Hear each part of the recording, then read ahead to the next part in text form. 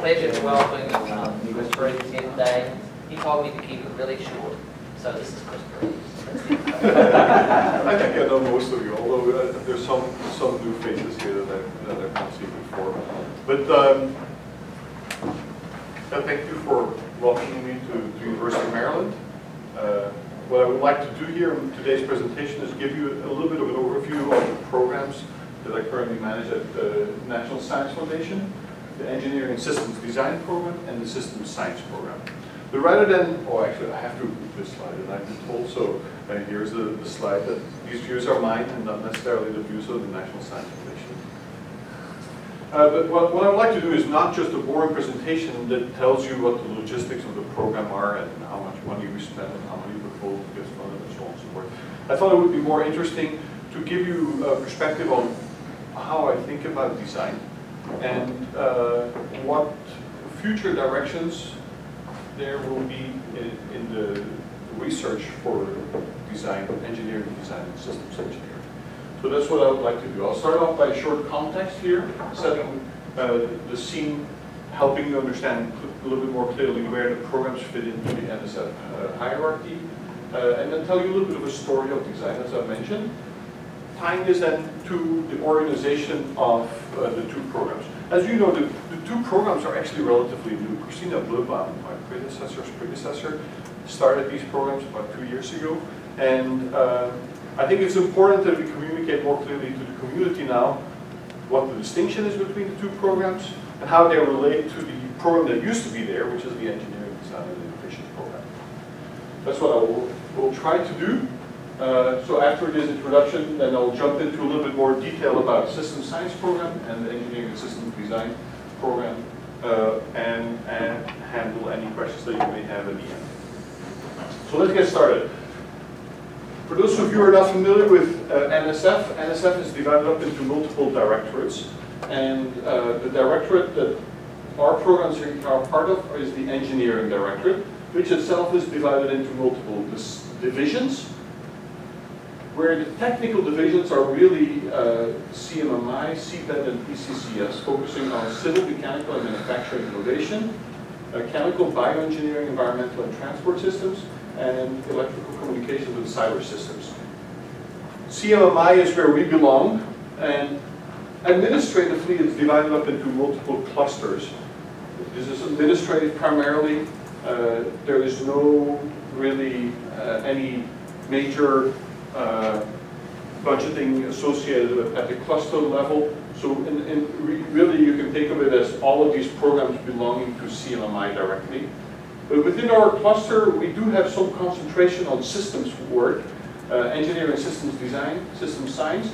Sensors, dynamics, and control is a, is a new program uh, that is really three old programs rolled together. Service enterprise systems and operations. These are the programs that uh, fit into the systems engineering design cluster. Where is the controls program now? This is over here. It's called SDC now. And it used to be three different programs that have been rolled, combined, and uh, it's currently the two program directors uh, responsible for that program are Jordan Berg. So both of them are running the same program? Yes, Massimo Ruzzene and, and Jordan, Jordan Berg are collaborating to manage that program. We've done the same with a few of other programs. For instance, in, in materials, we also have three program directors that manage one program. Um, so let me give you a little bit of background of how I think about the design. And I want to start here at, at, the, at the really at the beginning and ask why. I really like asking this question, why? Why do we design? Uh, and I think that in the design community really ask this question more often. Why do we do design the way we do it? So why do we design artifacts in the first place? Well, my argument is that it adds value, and that's the main reason why we do it. A couple of examples for this. If I'm an individual designer and I'm designing something for myself, then clearly I do so because I think that this new artifact will make my own life better, will make it easier, and it adds value to my own life. That's one scenario in which we design something for ourselves. The more common scenario is that I design something for others, And then uh, what really happens is that I design, something with this ultimate user in mind, with the idea that what I create will add value to the life of the user, and that this user therefore will be willing to pay me something for this design artifact, such that in the end I also benefit myself, right? So we create something with the user in mind, and then through trading, there is a consumer plus surplus and a producer surplus, and as a producer of the artifact, I gain by cashing in the, the uh, surplus. So we both benefit, but I'm doing the design because I care about the producer surplus. The, the final step here that I want to make is that we most often now design not individually trading with the, the user, but in the context of an organization, in the context of a firm. And uh, in that case, the firm actually uh, nets the producer surplus and pays me as designer uh, a salary for doing the design work that I do.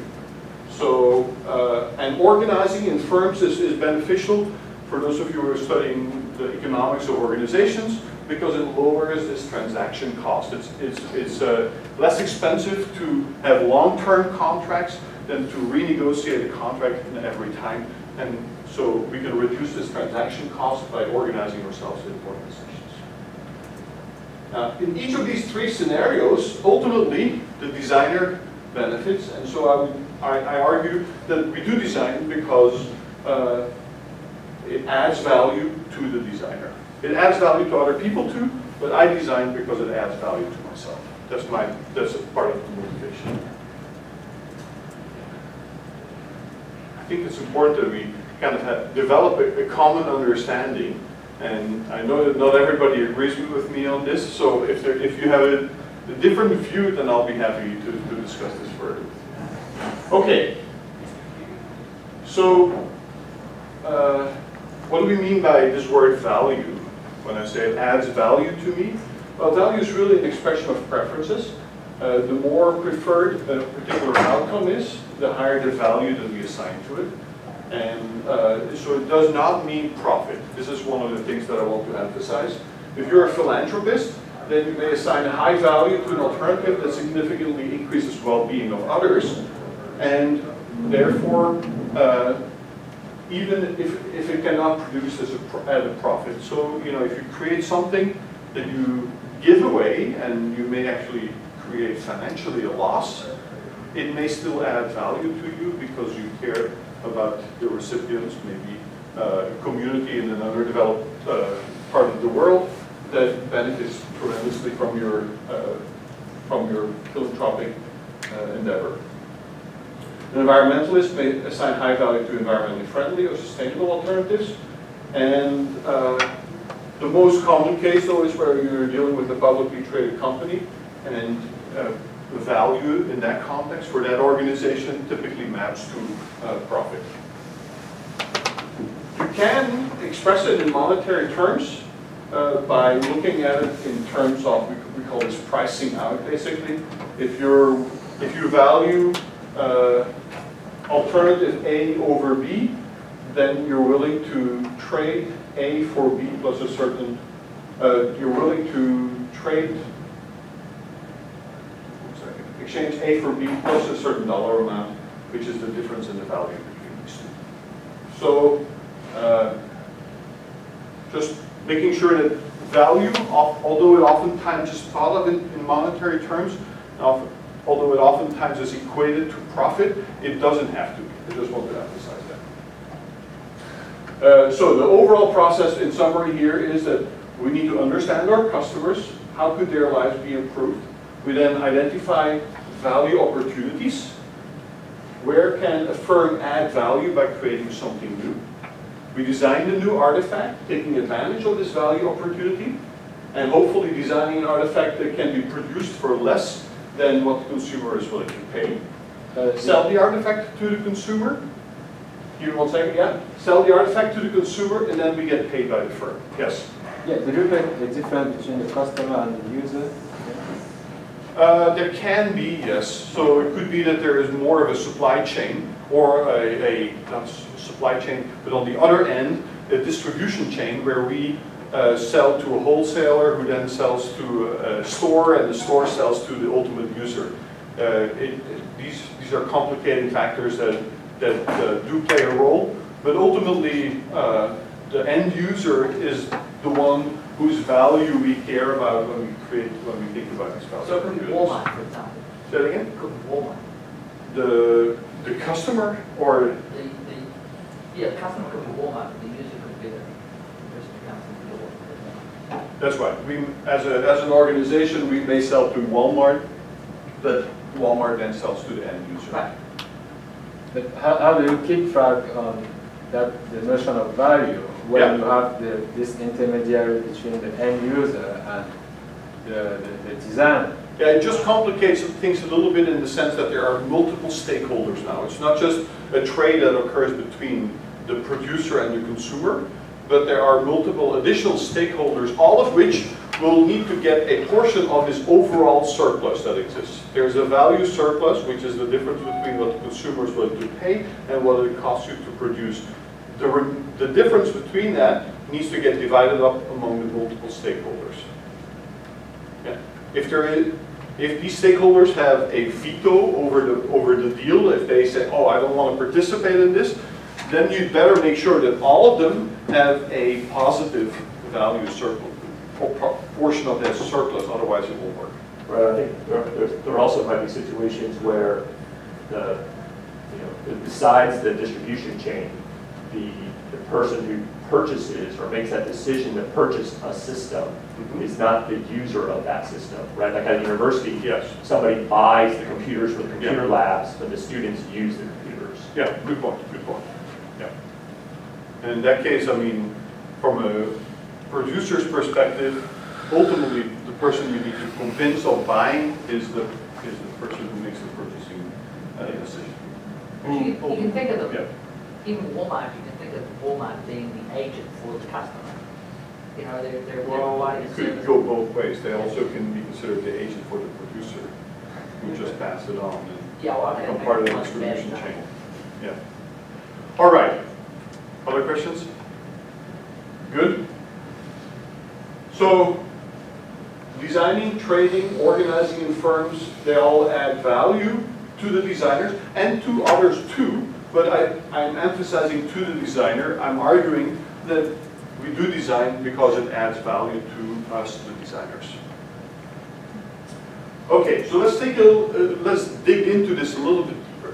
What I just mentioned basically is that we look for value opportunities and then we create new artifacts that maximize our value. I didn't say maximize yet, but clearly if we care about obtaining value for ourselves, then it would be a good idea to do so more, most efficiently and to, to do so in, a, in an effective way, maximizing our own value. Uh, what's important to recognize here is that these value opportunities, they don't exist in a vacuum. What really happens is that they exist in a global context. And value opportunities are not constant, they come and they go. So for instance, uh, if we look at global climate change in, as part of our current environmental context, from an economic perspective, we are dealing with expensive and scarce fuel. Uh, from a technological perspective, we have pretty good batteries and motors available these days, and that creates a value opportunity now to create artifacts uh, that are fuel-efficient electric vehicles. That's a value opportunity that exists today, but 15 years ago, maybe not, because the batteries and the motors weren't as good, climate change was not as big of a deal as it is now, and uh, fuel was a whole lot less expensive than 15 years ago.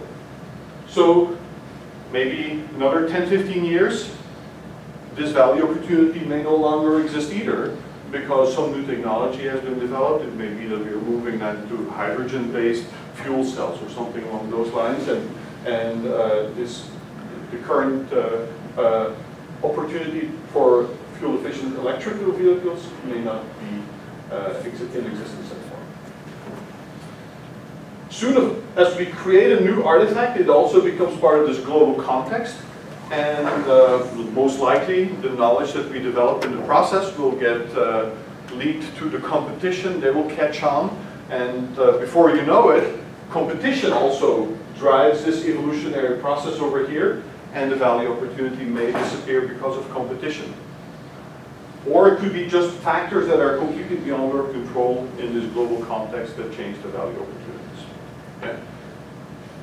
The argument that I'm making here is that in this global context, there is constant drive and constant value-driven process that leads to innovation, that leads to new artifacts. Now, the part that I've overlooked here is that going from a value opportunity to a new artifact doesn't happen just like that. It doesn't, it, it takes a process, right? And uh, so what we're basically doing in this process is we apply systems engineering and design. And as soon as I, as, we, as soon as we recognize that, now this also becomes part of the value argument.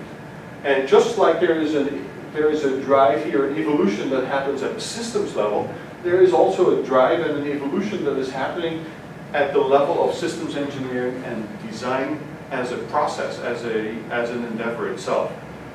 If we as an organization have better systems engineering design capabilities, better than our competition, then there will be value opportunities that are accessible to us that are not accessible to our competition. So there's a competitive advantage by improving our uh, systems engineering design capabilities. And so here also, there is a competitive, value-driven drive to continuously improve our capabilities.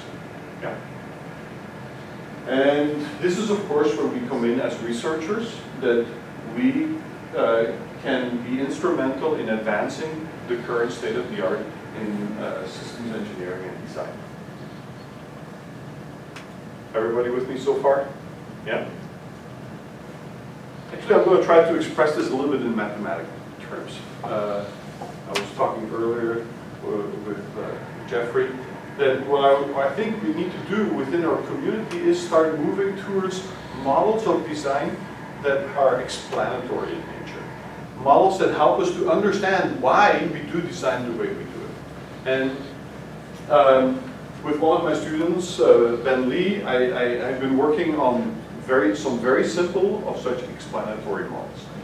One way to think about design is that you could say, well, I'm going to search here uh, over the space of all possible artifacts, pretty much an infinite space, and I'm going to look for the artifacts that maximize the value. It turns out that this is a really bad model for design. Uh, well, first of all, it overlooks uncertainty. So a better way to frame this would be that we maximize the expected value of the utility of the, uh, expected value of the utility of the value of the artifact, right? So here we take uncertainty into account. This, there, there are multiple ways to take uncertainty into account, but from a normative decision theory perspective, uh, this is, this is uh, uh, the normative way of, of handling this by taking the expected value of the utility. But still, this overlooks another important uh, aspect, which is that there, the process of solving this problem has costs associated with it. And so I would say that we should actually reformulate this problem in this way here, where we're, saying, we're saying yes, there is uh, a utility associated with the value, but there's also the cost of solving the search process in essence. We're searching through the space of alternatives, and searching requires time, and it requires resources, computational resources, organizational resources, human resources. So it requires some resources, and so therefore the value is affected by the time that it takes to produce the artifact and the cost associated with this search process. Now, as soon as we write the problem in this way here, we actually uh, introduce a significant problem here. And that is that uh, there is self-reference now, that the optimization problem, or what looks like an optimization problem, isn't really an optimization problem anymore, because the objective depends on how we solve the problem. So the, the, the objective is no longer in, in you know, optimization terms, a function that you're trying to find the maximum for, but the process for finding the maximum affects the objective. And so this now becomes a self-reference problem. And if, if you have ever studied self-referential problems, then uh, you'll recognize that the complexity immediately goes through the roof as soon as you include self-reference. Uh, if you, there's a, a, beautiful book that I enjoyed very much reading uh, by uh, Douglas Hofstadter, Gödel, Escher, Bach. Has anybody read that book? If you haven't, then, then you should definitely, it's a thick book, yeah. Uh, But, but get us, get, started reading and then uh, you can't put it down once you start reading. Okay. But so this is, this is a significant problem. This actually, I think, complicates design tremendously. What's the unit of cost there? Um, Some commodity that we care about. So, It guess, doesn't matter. We can use dollars. right, so the question that comes to mind, value doesn't have any unit, cost has some unit. So how can you subtract those Uh, two? Yeah, but earlier I was expressing that uh, value can also be monetized. Uh, And so uh, as soon as we monetize it, then we are dealing with the same. So why, uh, okay, so why uh, further up in that second line, why do you call it utility of value? Why not utility of that alternative? Because value usually, Yeah. notion of value is, as you said, doesn't have, it doesn't account Uh, for I guess. I guess what I, what I'm arguing here is that uh, if, if, um, if you're monetizing things and expressing the value of an alternative in, uh, let's say, dollars, Uh, then we can ex- express our risk preferences by applying a nonlinear transformation from dollars, wealth, to utility. And uh, in one step, by just ask- adding on this nonlinear transformation and then the expected value operator, we can take risk preferences into account. Okay. Yeah? Yes? Uh, have you put inside the error uh, of a function, I mean the, the, the, the estimation of, uh, of, of, the error that you can have in order to be uh, uh, more close the estimated value to the real value? And in this way, for Well, example, you, you, are capturing also the, the, the, the uncertainty. Yeah, everything is uncertain, right? So I'm Yeah. not sure, uh, it's not that there is an error, we should think about it as just uncertainty. Mhm. Uh, Error The, the annex, uh, applies to annex- measurement theory, yeah. it doesn't apply in this context. We're making predictions about some future, we're expressing our beliefs about the future, and so it's not meaningful to talk about an error in those terms, because the future hasn't occurred yet and cannot be measured. So think about it in terms of expressing our beliefs about something that will happen in the future. Uncertain. Okay, but this actually leads to some interesting things here that there, there, there's a, uh, an infinite regress involved. You know, say you say, whoa, uh, we can solve this problem by formulating it uh, as a decision, and uh, we can formulate what the objective is and then maximize this objective. Uh, but then the question becomes, well, how should you frame this decision problem? Well, we can have multiple choices. We can consider multiple alternatives. We can look at models of, of these alternatives that, uh, uh, at different levels of abstraction, different levels of accuracy. So there's mul- multiple ways in which we can formulate that decision. How should you formulate the decision? Well, in such a way that maximizes value. Okay, so why don't we create a decision problem that helps us to decide how to formulate the decision problem? And then we can say, well, how do you formulate that decision problem? And you go into an infinite regress where you need to decide how to decide, how to decide, how to decide, how to maximize the value of the artifact. So uh, this, this causes some problems. Another way of looking at this, though, where, the, in, where this self-reference disappears, is to look at it in terms of process. Where we say, well, what we really are looking for is the best process for design, and the artifact is just the outcome of the process.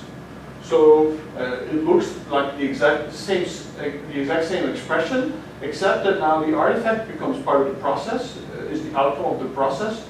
The time is the is a result of the process, and the cost is a result of the process. That's the only change that I made to this equation. Uh, it's no longer self-referential, right? The, the, the script P does not appear. But of course, uh, it's still very challenging because now uh, we cannot optimize in advance. Every step of the process pr- reveals new information that will affect how what we do in, the, in subsequent steps. And so now it becomes a dynamic problem, uh, which I, I guess remains more or less equally challenging, it's just that we have formulated it mathematically differently. Uh, how do you, how do you relate this to traditional um, design processes having system engineering? Yeah. Uh, Actually, I I will, I will come, I'll come to that in just a second. The traditional design processes and systems engineering processes, they are just good search heuristics. They are heuristics that we use and we say, oh, in general, it's a good idea to start by formulating the problem, identifying where is a value opportunity, creating maybe a functional decomposition and so on and so forth, right? The, the steps that we typically go through, they are heuristics. They are heuristics that we think lead to near optimal solutions to this problem. Okay. I, I think in general, we should think about it not as a fixed process, though the way it's currently often formulated, but it should really be, reflect this dynamic nature, and, and I, I, I like to express that by calling it a search strategy, not just a process, but a strategy. And the part of the strategy is to discover what the process should be. Yeah? Uh, another important part here is that we're making trade-offs now between artifact value and this overall search time and cost. So here's the value and there's the cost, and the choice of the process that we make actually affects both of them.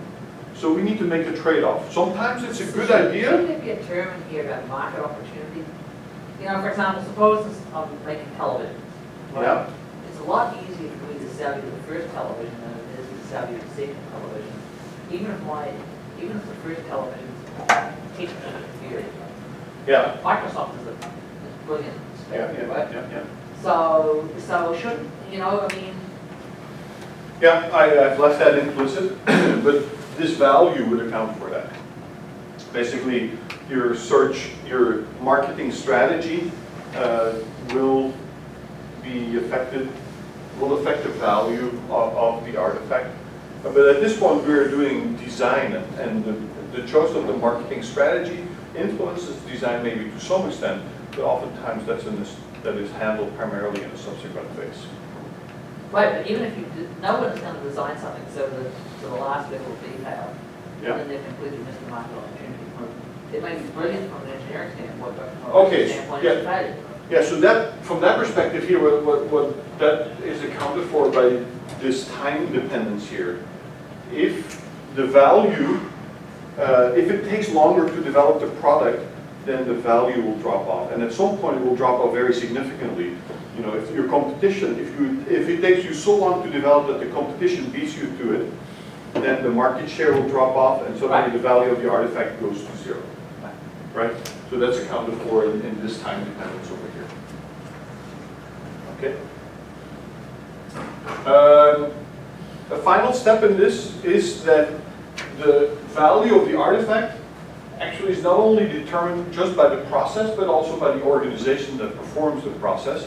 And so uh, really, strictly speaking, we should also consider optimizing the organization such that the people are appropriately, have all of the information and knowledge necessary and are appropriately, uh, appropriately incentivized to perform a process that leads to artifacts that are valuable.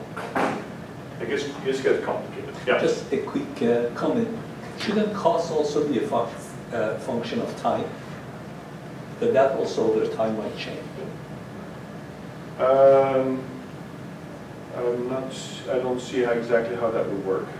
Once the cost, Yeah, cost can be also dynamic uh, because there might be some factors uh, that over time might change.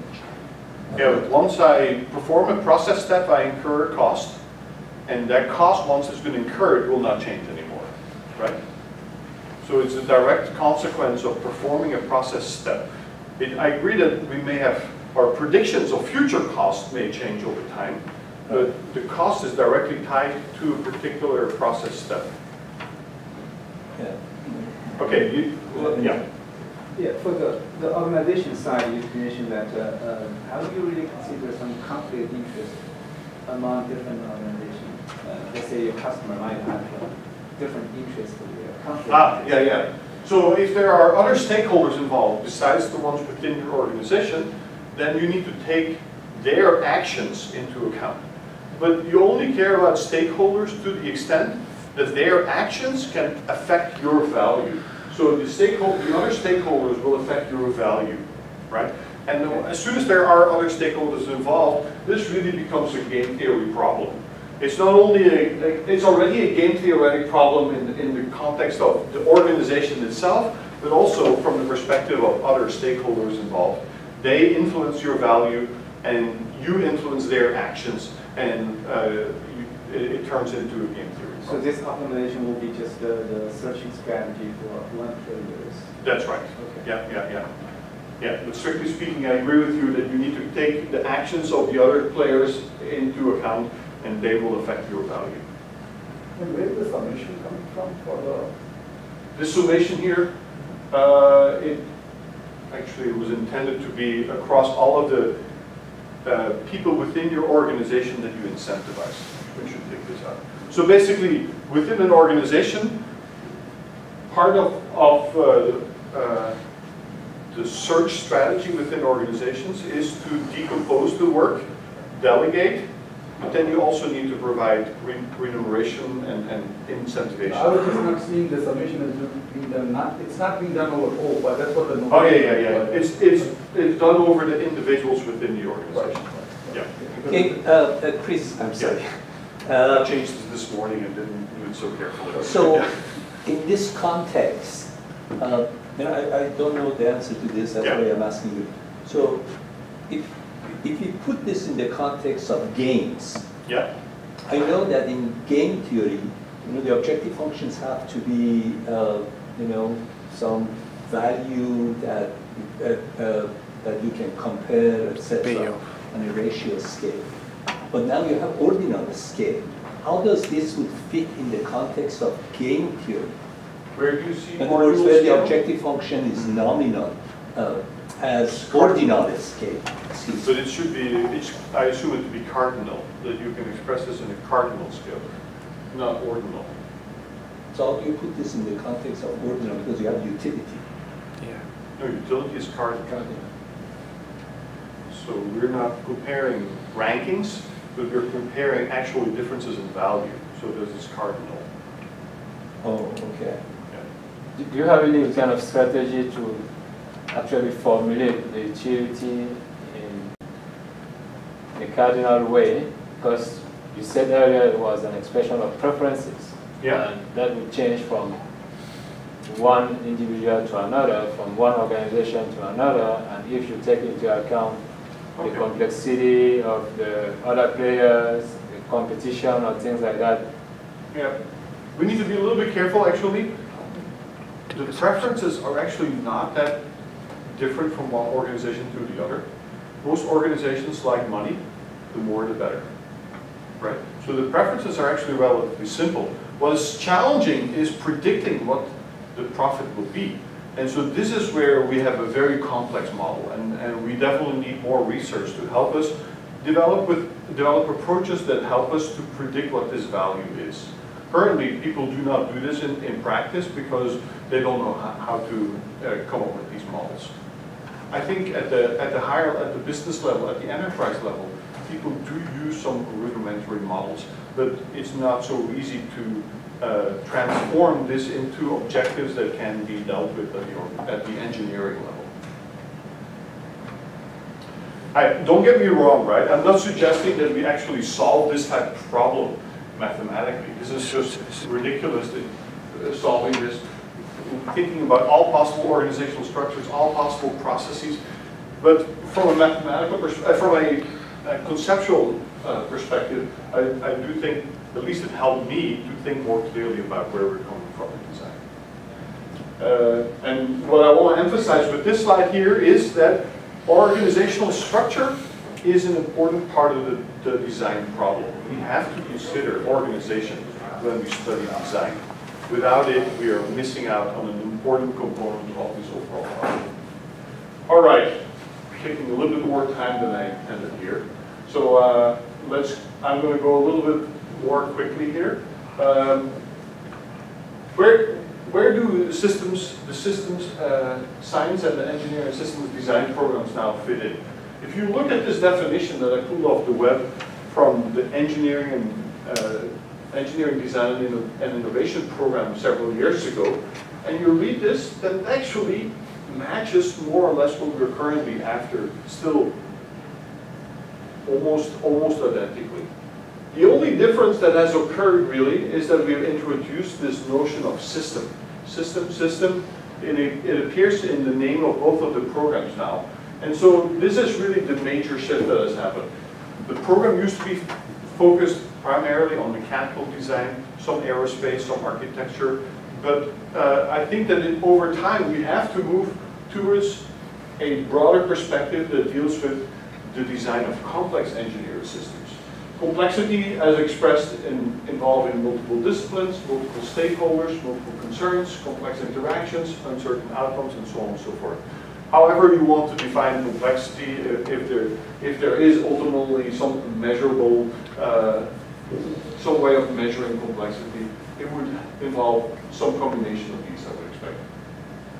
The second aspect is that we need to uh, explicitly take into account a holistic perspective. Uh, that all of the aspects that ultimately influence how much we prefer a certain outcome should be considered. Uh, and you know, if your focus is on profit, then profit is still influenced by societal, environmental, economical, and, and political aspects. So all of that needs to be considered.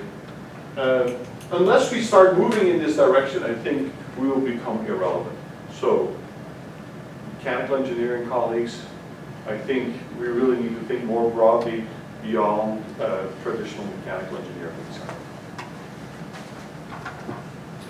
Um, actually, I'm going to skip over this, this, this slide in the interest of time. Let me bring it back to this slide that I started with, uh, that I ended with earlier.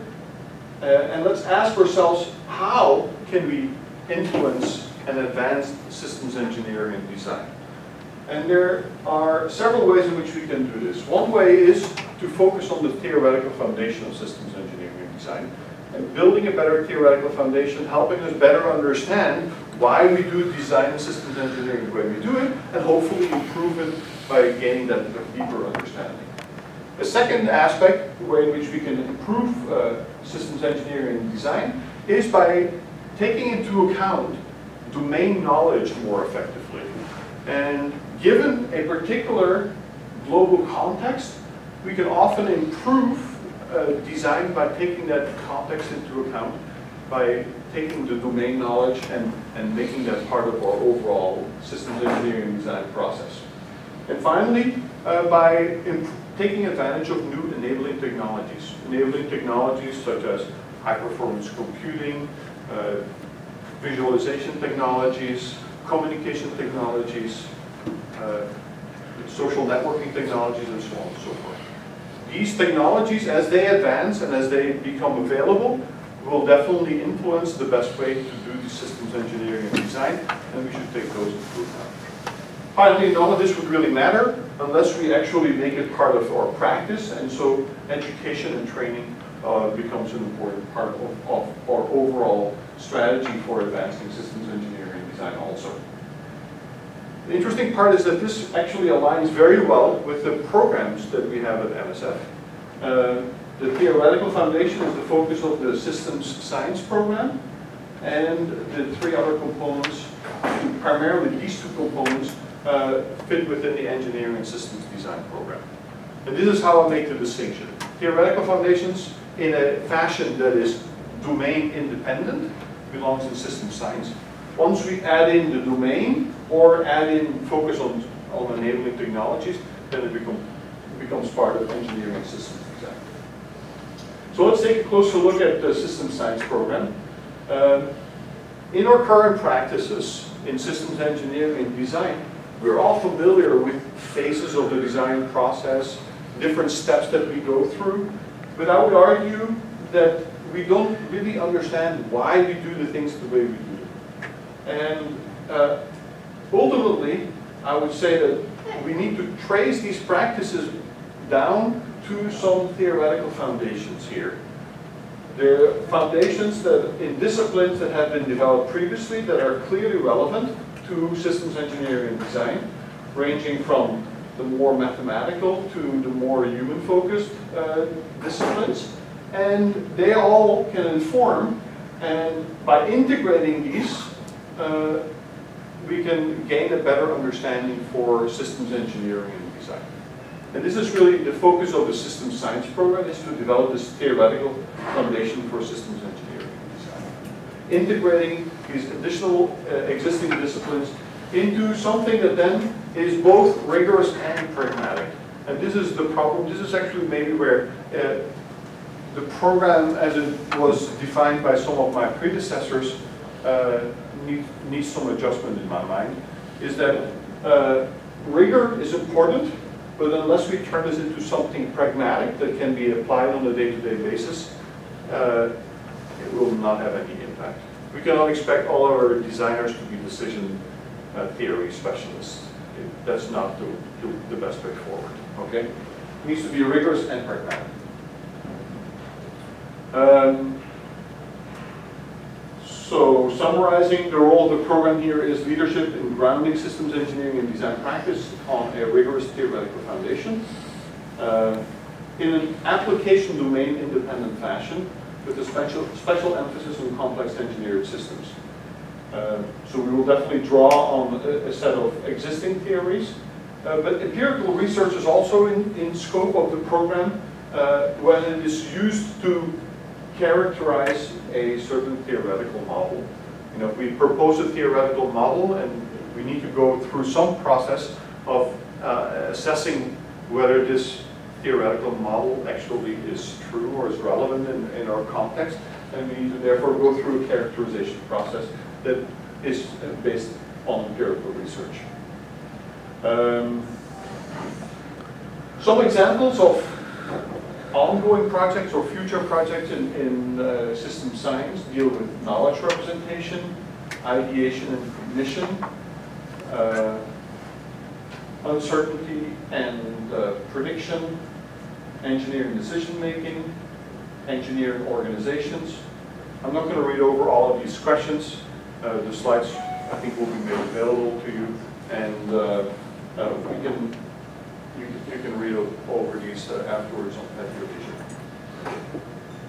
In terms of setting the future directions, I've actually divided it up into four different emphasis areas within the program.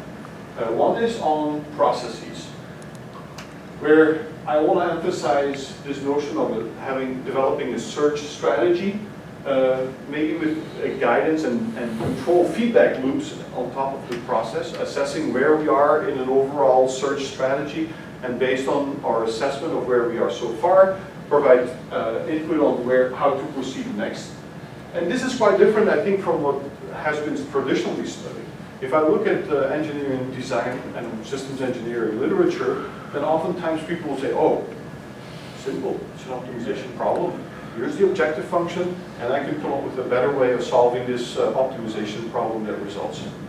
But that is at best one step in an overall search process, which is really a sequence of steps that we go through, a sequence of optimizations, a sequence of decisions that we make. And talking about the quality of one problem formulation, one decision in that step, without considering what came before or what follows, I don't think is meaningful. We really need to ask ourselves, is this the right abstraction that we're considering at a given step? Are we using the right uh, abstract uh, accuracy of our predictive models and so on and so forth? So let's look at this really from a search strategy and position these problems in this broader context. Second part is uh, organizations. Uh, this deals with how do we decompose problems and delegate within decisions, within organizations. How do we communicate within these organizations? How do we uh, explain to the people to whom we delegate what needs to occur? Uh, how do we share information and knowledge in general? And how do we incentivize them? Uh, all three of these aspects, I think, uh, need to be studied in more detail. So far, these are problems that are probably under-researched within our community. The third area of emphasis is on modeling. How do we create, use, and assess models? Models are ubiquitous within our discipline. without models, we wouldn't be able to design many of the things that we design right now. And from a search strategy perspective, it's an effective way of actually searching. So they're there to stay, but I, would uh, uh, encourage people to study modeling in and of itself more carefully. How do we create models? How do we do this? I mean, clearly we are humans who are doing this. Maybe we need to study how humans, what the mental processes are for creating models. One example. How do we use models? People oftentimes, I, I've seen this many times, where they just put a bunch of simulation models together, finite element code together with some differential algebraic equations, together with a discrete element model. They somehow tie it together with some glue code and hope that something good comes out of it. We really need to understand this better, and uh, some further research in that area will be be Finally, final topic here is on research methodology. I think that all the design researchers agree with each other that we need to improve design. We want to improve design. But I would say that we don't really agree on what good means at this point. How do we assess goodness in design? If we want to improve it, shouldn't we at least have some understanding of what we mean by goodness? Uh, how do we measure that goodness? If once we agree, we need to still be able to measure it. So I think that there's opportunity for improvement and, and uh, advancing what we currently do by focusing on research methodology. All right, so this was system science. Let's switch over to engineering and systems design. Um, as I mentioned earlier, once we introduce engineering systems design, we switch from the theoretical foundation in a domain-independent fashion to a specific context. And within this context, then we come up with context-specific approximations of this theory, in which we include domain knowledge, and uh, we come up with the appropriate approximations. We operationalize this theoretical foundation in, in this each, each uh, specific context, which consists of both, uh, you know, a context that uh, uh, is deals with the system itself, you know, increasing complexity of the system, shorter life cycles, decentralization, systems of systems, and so on and so forth. But also with how we do systems engineering and design. So cloud-based, high-performance computing, big data, immersive visualization, net-enabled collaboration. These are different ways in which we do these systems engineering. Both of these combined provide a context, and then within that context, we can ask the question, how do we best support systems engineering and design in that context? Which architectural patterns should be used? Which formalisms and fidelity should be used for our analysis models? Uh, from a process perspective, when should we do what, in which order, in which sequence? And from an organizational perspective, who should do these different steps and how do people communicate with? So let me illustrate this, make this a little bit more concrete with an example. Let's assume that we're going to create some decision support tool for X, designed for X. You make, you make it up. I, let's pick a popular one these days, maybe. Designed for additive manufacturing, right? Designed for additive manufacturing. What does that mean? Well, if you're going to create a decision support tool, I hope that you at least have some decision model also supporting that tool. That you don't do something completely ad hoc, but that we actually have a decision model for this for this context X, which is based on some foundation, uh, hopefully involving economics, probability theory, decision theory. These are these definitely seem to be relevant in this context. Now, in order to actually develop, so this is this is so far we've talked really about system science, right? We're looking at this in a very generic way. So now we're going to turn it into an engineering and systems design context by including domain knowledge, which means that in our decision model, we will consider specific heuristics for which architectures to consider, specific idealizations for analysis models, uncertainty characterizations, and so on and so forth. We're now making this concrete and including this domain knowledge.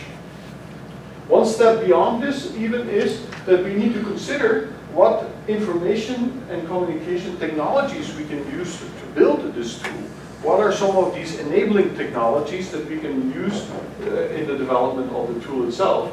And uh, as soon as we start focusing on the tool, we also need to consider the user of the tool and include the psychological aspect there. Uh, Maybe one step further is that we also consider the organization and take the- into account the sociological aspect where the tool is not just used by one user, but by multiple people within an organization.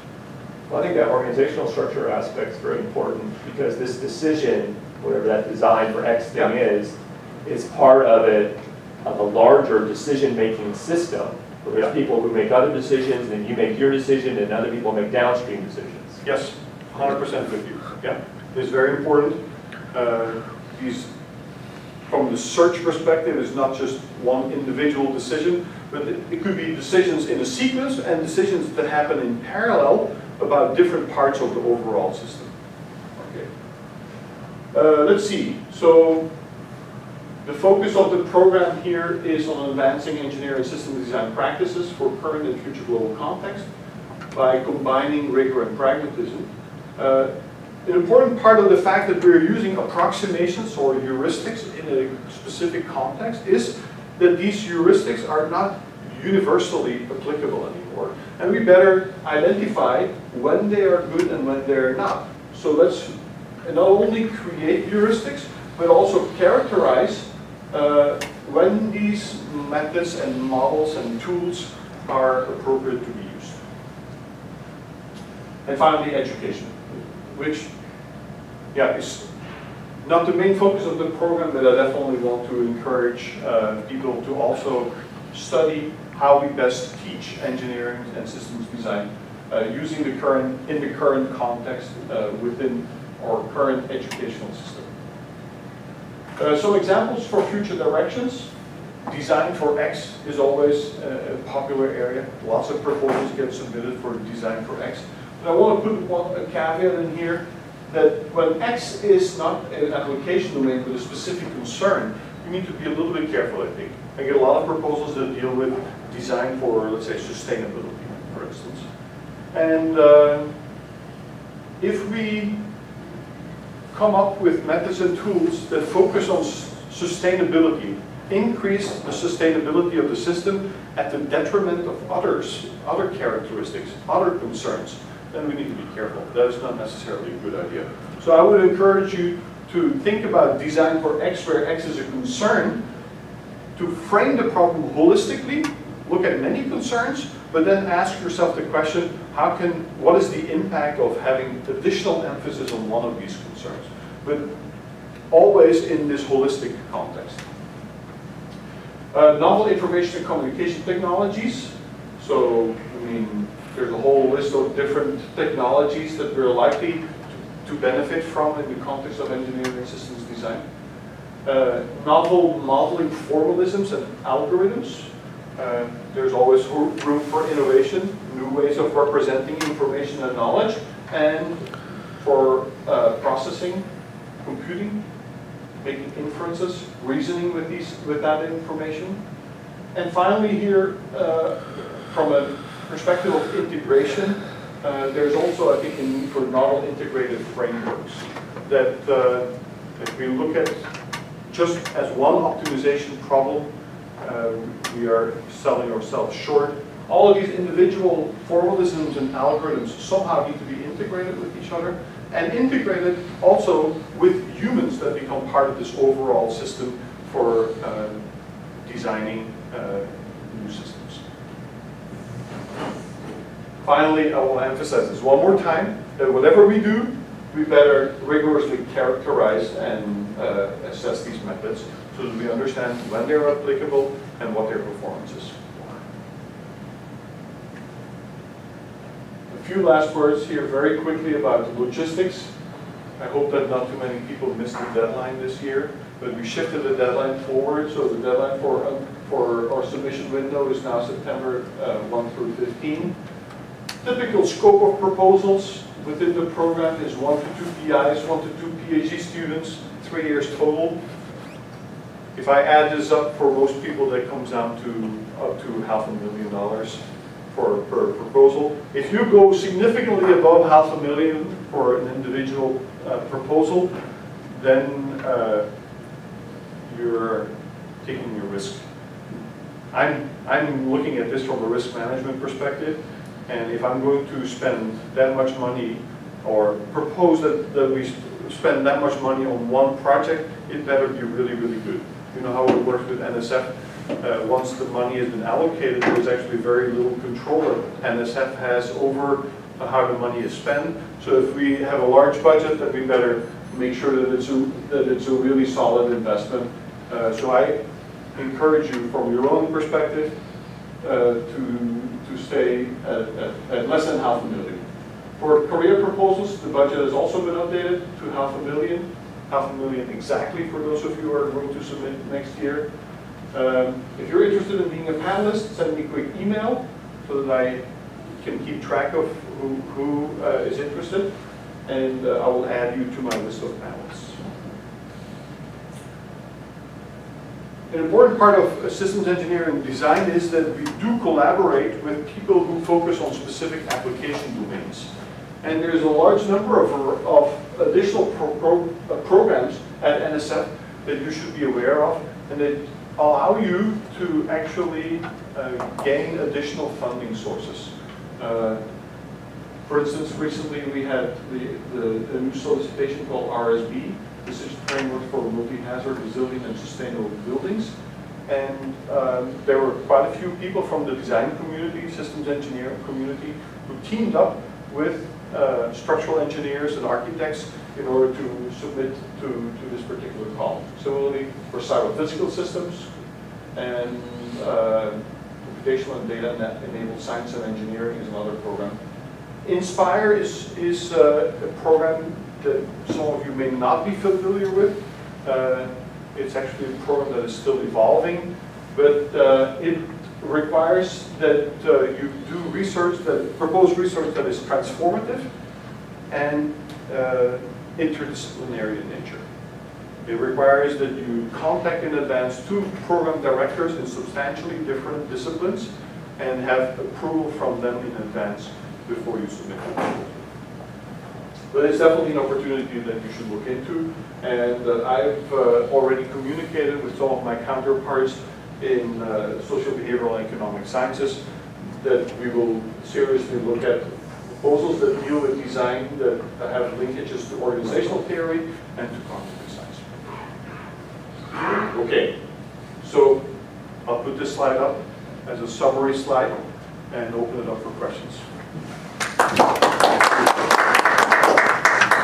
Is presentation available?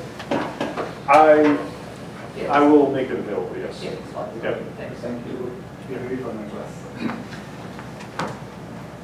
Seems that these two programs in systems have some significant overlap. And I imagine that you might be getting proposals that might mean for one, but actually is the other, or vice versa. Is that true? Um, It is true that that happens at this point, actually very often. Uh, But that is in part due to the fact that the synopses that are posted online at this point are still very confusing. I hope that this presentation will shed a little bit more light on where your proposal may go, if it's really fundamental theoretical research in systems engineering and design that is domain independent, then it should go to system science. Otherwise, it should go to engineering and systems design. But the one can think of topics that Yep, yep. is overlapping. Anyway. Yeah, yeah. Uh, But so in, in that case, if you, if you really struggle, give me a call and we can talk about it. And oftentimes what, what is possible too is that you actually submit it to both programs. You, you're not restricted to submitting it to one program, you can submit it to both programs. Or you could actually think about situations also where you submit to system science, but your application domain may be in service enterprise systems Mm. or into civil infrastructure systems, and then you can submit to, to uh, both programs. Same proposal? Same proposal gets submitted to both programs, and then I will interact with the other program directors uh, to see whether there's an opportunity for co-funding. If the PIs get it wrong, then we try to help them out, and we may actually re- reassign the proposal to a, a more appropriate program. Sometimes that, that doesn't work out. Mean, sometimes we get proposals that are really uh, more appropriate for um, If, if, if it, if it belongs to a program outside CMMI, and we want to reassign it to some program that is outside CMMI, they have different deadlines and, and uh, different proposal submission windows. Reassigning becomes often impossible then, and in which case we will need to send it back without review. The second question is, given the budget cut at the federal government level, DOD, NASA, etc., I imagine you get the NSF number of proposals have gone up quite a bit. Am I correct? And if that is so, what is the acceptance rate of this program in the last couple Well, I, of years? I, I wish the, the number of proposals in these programs would go up. It's actually low at this point, Hmm? and I, I, Surprising. I, yes, it's surprising to me too. So I've actually dealt with two submission windows no- now, the, the submission window last spring, and uh, now this fall, and I'm, I was surprised about the small number of proposals. Uh, Overall, the success rate uh, is similar to what it is for all of NSF, basically. It's, you know, between 10 and 15 percent. If, the way it works is that it's a self-regulating system. If the success rate goes up, more people submit and it, and it levels out. So it becomes a self-regulating system and somehow we always end up with a, a success rate of between 10 and 15 percent. And how does the budget of this program compare to other, uh, other programs uh, in CMMI or that cluster? Um, It's, it's actually, so we're on the order of about eight million dollars. Each, each of those? No, no, no, the two combined, Okay. yeah. Which is larger than most programs. There's some, I mean, now that we have combined programs, let's say the materials programs, they all combine into one program, that is now, of course, much larger than this. Yeah. Do you Uh, have But they also get many more times more proposals than we do. So again, the success rate remains around, uh, around uh, 10, 15 percent. Uh, but Do you have a a distribution on how, how much, how- what is the percentage go to the career or what is the percentage go to the regular proposals? Um, I mean, last year was somewhat exceptional, we made, we made three career awards. Uh, This year, this year, I'm not sure how many career awards there will be. Career awards uh, are dealt quite, they are dealt with quite differently. They are actually made by the division, not by the individual programs. Oh, Also, it's, it's beyond your budget, basically, or it's still within your budget? Um, It's still within the budget, but uh, all of the program directors have a voice in deciding which, which career proposals get done. It's not, uh, it's not a recommendation made by a program, individual program director. So I was just wondering whether the budget you gave, eight million is per cycle, you have two windows per year, is it for one year, One year, for two cycles? Yes. Yeah, so uh, I'm basically from civil engineering, but we do Yeah. also some of the design issues. And uh, uh, thank you very much for the excellent presentation here. So, um, Sometimes we do have some kind of uh, ideas that we really wonder whether fit into your program or Yeah. not. So uh, what is the suggestion that we have, like, uh, you know, I, I have some idea and I really want to really know whether it fits your, into your program or not. Yeah. Just contact you and see. Communicate, yeah. Okay. But uh, to make the communication go smoothly, the preferred way of doing this is to write up your idea in one page. One page, And summary then-. Yeah, so similar to the project summary that you would submit in your proposal, it helps you to clarify exactly what it is that you want to focus on. And rather than talking on the phone for half an hour so that you can explain it to me, if I can read over this one-page description, then I will be able to ask more directed questions and help you uh, identify where it should go. And maybe give you feedback on how to improve the idea or uh, yeah, how to fit it, make it fit better with the program. Okay. Thanks a lot. Other questions? Thank you. Thank you.